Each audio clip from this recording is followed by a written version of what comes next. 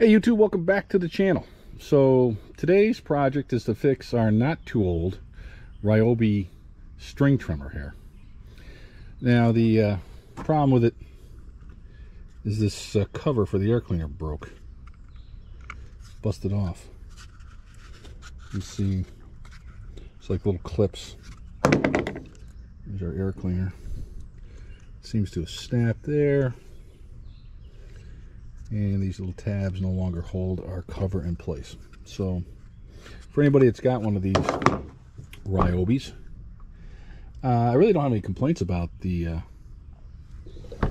the trimmer itself. I mean, it's done what it's supposed to do, other than this kind of cheap plastic breaking off, which I, I, I don't know. This maybe it's two years old, maybe three, something like that. I could uh, look it up in my records see exactly how old the thing is, but uh, I was kind of disappointed that this would break. It's not like I take it on and off all the time, you know. But anyway, it did. It snapped, and uh, we ordered a new one. So let's uh, let's replace it, and we'll have an air cleaner that uh, functions again without having a lot of uh, debris flying in there because there's no cover on it.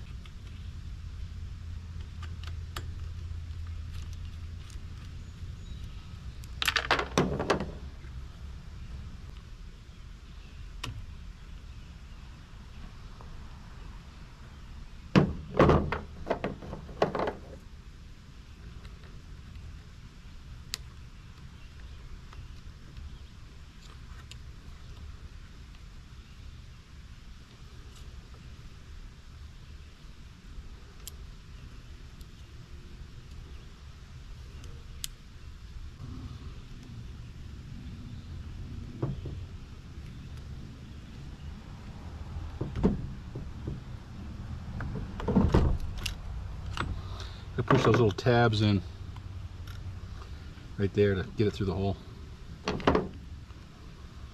Okay. So here's the part I ordered. Let's compare it with the old one. Similar.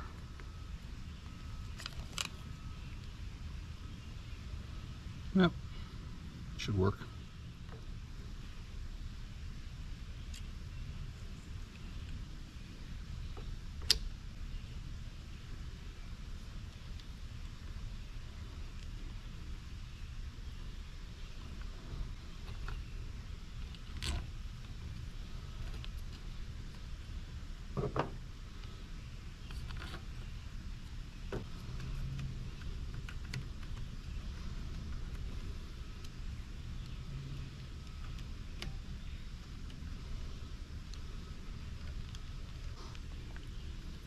That's good.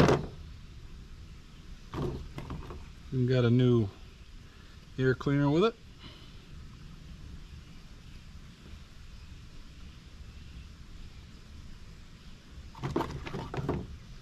And then our plastic snap-on cover.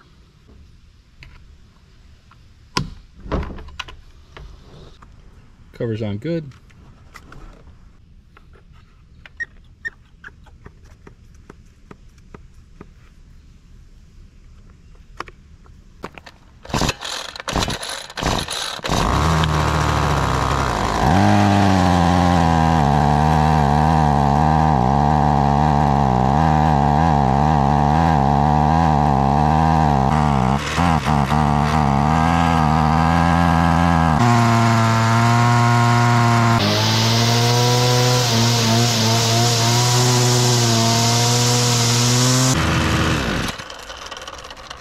I think we'll call that fixed.